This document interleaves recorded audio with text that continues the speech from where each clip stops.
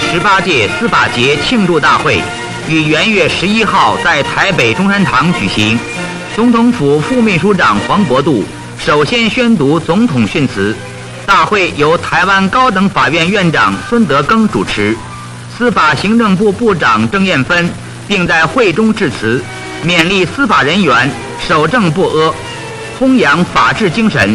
优秀司法人员同时获得郑部长颁奖。当天下午，行政院副院长王云武为台北新监落成剪彩。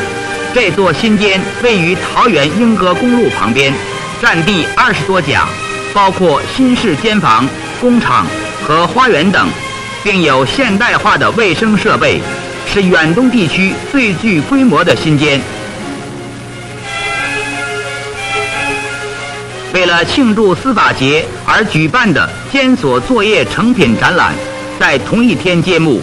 王副院长由郑燕芬部长陪同也来参观，对这些精致美观的成品极表赞扬。